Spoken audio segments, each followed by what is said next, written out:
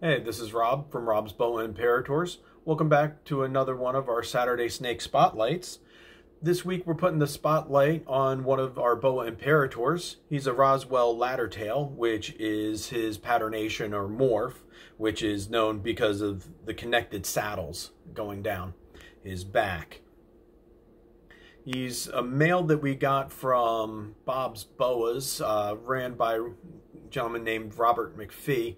Put a link in the description to him down below so you can check out what he has if you like. He's a breeder male that I got, and he's going to be put to a hypomotley female this year. So, hope you all enjoyed what we're doing. If you like it, hit the like button. If you want to see more of it, please go ahead and subscribe. Thanks a lot. Hope you all had happy holidays. We'll see you on the next one.